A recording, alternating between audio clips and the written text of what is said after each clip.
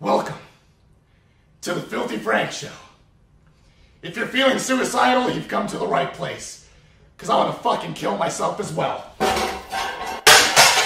Fuck you, I hate all of you. Yeah, I was doing fine. Started fresh out here in the West for two years. Barely ever on my mind. Till a friend called up telling me that you gon' move here. Oh my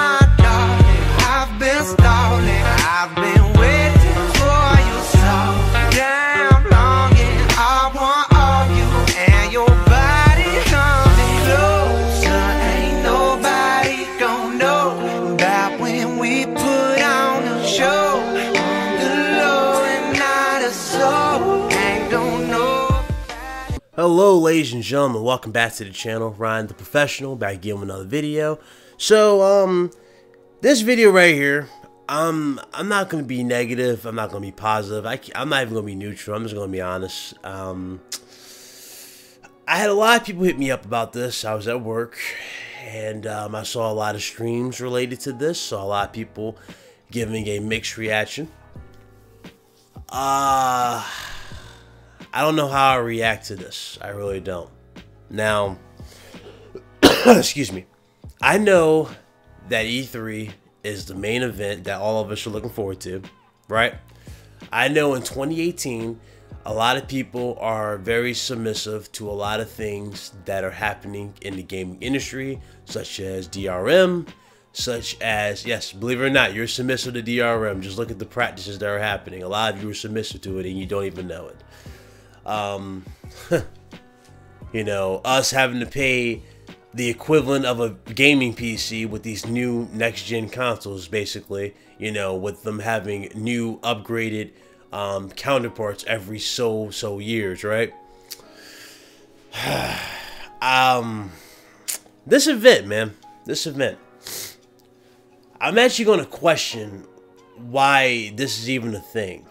Now I get it it's to really it's really to get eyes on things right? As opposed to them announcing it like eh, through IGN right? You know because they announced a few things like CFD's getting some new updates and a few other games getting updates on the Xbox One which is fine. They announced some new backwards compatible games which you can't go wrong with backwards compatible games. You know can't go wrong with that. That's not the problem. The problem is it's 2018 and you already know where I'm going with this, and um, I'm not going to beat a dead horse, but the bottom, the bottom line is 2018, there's no AAA must-have games on the Xbox One that are exclusive to that platform that give people like me an incentive to actually go and buy it. Let's be real here. After watching this event, did you really watch this event and go, you know what? I'm canceling my Spider-Man pre-order, or after watching this, you go, you know what? I'm getting an Xbox One. Definitely since I'm buying Spider Man. Did you really look at this event like that? Nah, you didn't. Did anything they show make you interested in buying an Xbox One in 2018? Of course not. PUBG, we already know PUBG. We already know the, we already know all the info on PUBG. Doesn't matter if you show more. It doesn't. Doesn't matter what you show for PUBG. PUBG. But then here we go again at the end of it. Um, Microsoft treating this whole thing like a joke. Microsoft, this is why I don't have like I don't have faith as much as a lot of people do in E3. Even though I'm giving them the benefit of the doubt this year because I think they'll wow us because we don't know what they have, but we know Sony for the most part. We know they what the most part they have to show, right? We know what Sony has to show, and you know we know what to expect and we know we're going to be wild about what we're looking forward to, right? Microsoft, we don't know what they have to show. But I'm looking at an Xbox event and you got people already damage controlling this. You got people who are very submissive to it saying, well, this is an event where they don't have to show anything must have. That's what E3 is for. And that's where you're wrong. They hyped this event up as if it was something to watch, as if it was something you had to watch for Xbox. They always hype these up. Just like Nintendo Directs. Nintendo Directs are hyped up because those are something that you gotta watch to see what's coming for your up and well for your Nintendo Switch. You know, what up and coming experiences and accessories or whatever are coming to the Switch. That's where Microsoft got this idea from. The Nintendo side, the directs. That's basically where they got this whole idea from. So for them to copy Nintendo and not even so much as try is what's killing everybody's expectations for the Xbox. And really kills everybody's hype and really their reason to even want to even invest in the ecosystem. It's true. I look at this in 2018, and uh, a lot of people say go in with open mind. I did. I went out went in this with open mind, zero expectations, and I still left this whole event like, well, that's an hour of my life I can't get back. So I guess it's best for me personally. I guess it's best for me, even though I'll, i got to watch them regardless. You know, I got to give my opinion on those for you guys, and a lot of you like to see these, but eh, something tells me I just don't want to watch these anymore. I really don't want to watch these type of Xbox events. Inside Xbox, right? That's the name of this. Inside Xbox. They got the pretty little logo. They got the pretty little intro and all this extra stuff. They showing off clips of people playing games as if they're MLG. Since when does Microsoft care about people, you know, scoring crazy goals in Rocket League? Since when does Microsoft care about people saving people in Fortnite or doing crazy plays in Overwatch? Since when do they care about that? They don't. There's all an attempt to pull wool over your eyes. And wasn't a bad show? No, it wasn't a bad show. This was a nice show to have right? This was a nice show to have if Microsoft was in the running, right? They were number one, or not necessarily number one. Let's just say they were just laid back. You know, they they did what they needed to do. The Xbox One was in a better uh, state. We had a lot of games for the Xbox One, and we would be good. And you know, this has been great. I have no problem with the show. Know, the show was fine. I have no problem with the show. But I have a problem with the lack of effort, the lack of interest in the very things that we know Microsoft is known for. The the type of things that we expect better from Microsoft in 2018. That's what I'm angry with. Well, not really angry, but I'm upset with. So somebody could say I'm, I feel I'm a little entitled. Not really entitled. I mean, even though I should be, I think all of you should be entitled right now. There's really nothing on the Xbox. God of War comes out in nine days. Spider-Man comes out in September for Spider uh, for play, uh, PlayStation. You know, you guys calling us entitled, but here you guys go and making up excuses for kids to try to make it seem like, oh, Insomniac is the bad guy for not releasing Spider Man on the Xbox. Spider Man was exclusive to the PlayStation. You knew this years ago. And what did you do? Did you demand Microsoft do something on your end to get you guys something like that? Did you demand? No, you didn't. You damage control. You said it was to flop. And here you guys are now crying that it's not coming to the Xbox One. Hey, who did that? Who messed up there? You did. And now you gotta, you know, face the face the music. I'm not gonna sit here and rub it in your face.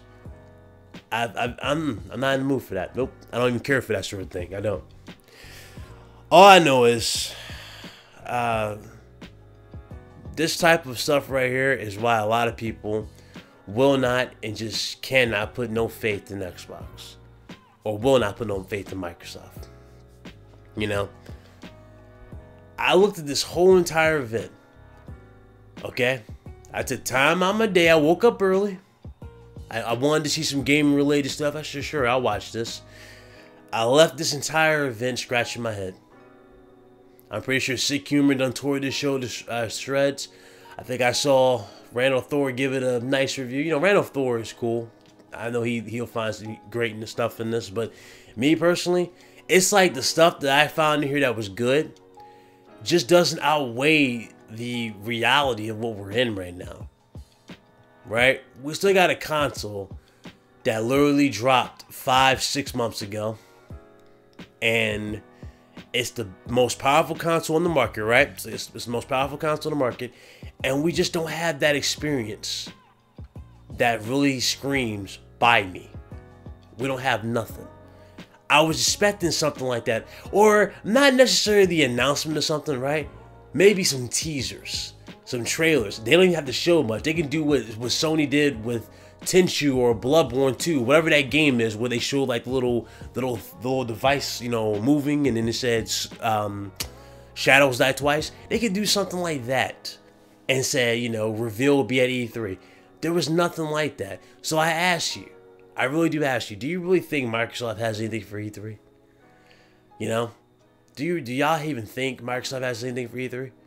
Me personally, I don't want to say no because I want to be positive. I want to see more. I want to see more competition out there. But it's just that gamer inside of me, right? It's just telling me, Ryan, go in this the same way you promised you, yourself you were going to go into Sony's this year. And that's with zero expectations and just, you know, a level headed or a level head. And I think I will do that. I think I will do that because um, I'm tired of being overhyped up for stuff. And then when we get that epic, or we get that main reveal, right? It's not even anything, you know, worth watching. So, uh, my review for the event, you know, the Inside Xbox, I mean, I thought it was okay. It was an okay show. Not a bad show. Wasn't boring or anything. I, I didn't, at least I didn't find it boring for the most part. I did find it a little just unnecessary, right? So if I had to rate the show, you know, like in terms of a 10 rating, um, I'd give like a 7. The show wasn't bad. The show wasn't bad. Let's be real. The show, let's be fair, the show wasn't bad. The problem with the show was the fact that there was nothing in the show that solidified you to be hyped for Xbox. You announcing stuff for PUBG, you announcing back more backwards compatible games, and you, you know, just really acting like you guys were an MLG type of uh, commentator type of things that type of stuff really just makes me look at Microsoft and really understand truly, and really makes me come to that conclusion that they don't know exactly what they're talking about, or not really know what they're talking about. They just don't know who they are in 2018. That's the best way to put them together. Microsoft does not know who they are in this this generation. The 360 generation, they knew who they were. They were Microsoft.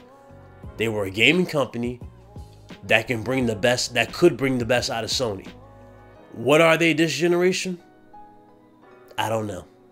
So that's it. That's it. Um, I shouldn't see no people going crazy in the comments because you know I thought the show was okay. It was okay show, but just the content and what was in it and how they presented certain things. Yeah, I'm not interested. I'm really not interested. And hell, I don't think I want to watch episode three. But odds are I'm going to have to watch episode three to see whatever they want to do next. So there you guys go. If you guys liked the video, hit the like button. If you didn't, hit the thumbs down. Make sure you leave a comment. Um, follow me on Twitter, so on the banner up top. You know, continue our conversations there. And um, subscribe to the channel if you are new. But um, yeah, that's pretty much it. Inside Xbox. Uh, another day, another just well, I don't know. I don't even, I can't even think, you know, coherently right now. I can't think logically right now. I really can't in terms of something clever to say, but I really don't. So, just another day, another whatever you insert there. Okay? You guys have a good one. I'm out of here. Deuces.